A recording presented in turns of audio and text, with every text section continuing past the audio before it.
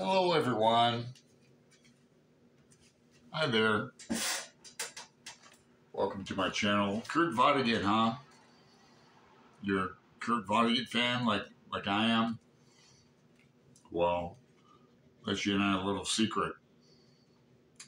And a little history of uh, the group.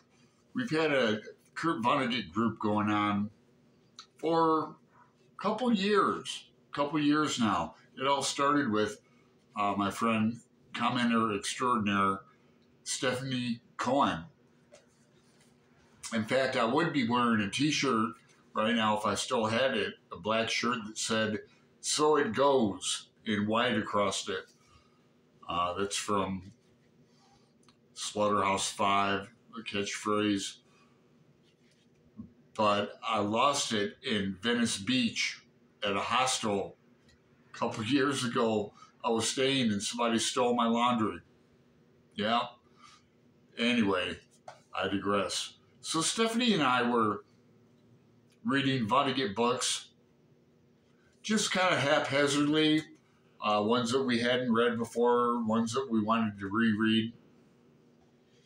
And then uh, my buddy Greg, another bibliophile reads, said, "Well, I like Vonnegut too. Uh, I want to get in on this, and he joined the group. We have nine members in the group. I'm not going to name names because uh, some people might want to re- remain anonymous. But I will say this: you recognize some uh, booktubers, but um, Greg organized the group as he's wont to do.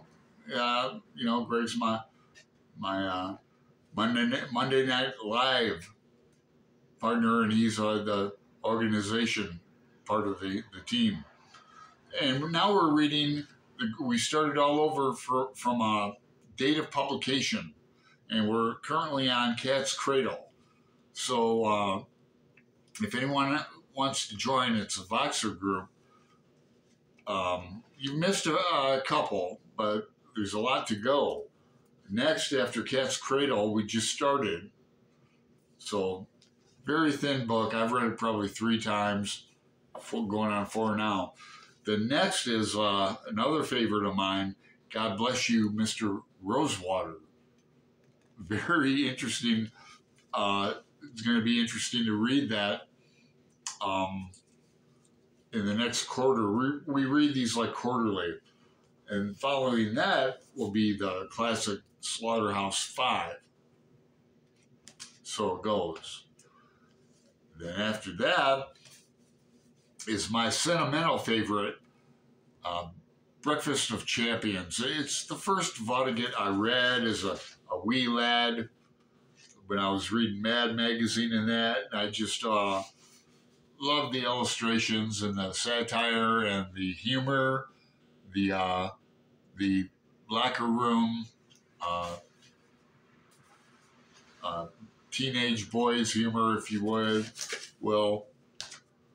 And then uh, if anyone has any questions, like uh, you certainly will, like I have, I uh, had to buy the the Kurt Vonnegut Encyclopedia, and Greg has a copy of this as well. So, you know, a hefty uh, reference book, good to have. Again, my Voxer ID is Allen770. That's A L L E N 770. 770 means agape in uh, Greek gematria for anyone keeping score at home. So if you're in Vonnegut, you know, why not like, subscribe, and especially make a comment. If you do, I'll reply back to you. All right. Make it a good one. Later.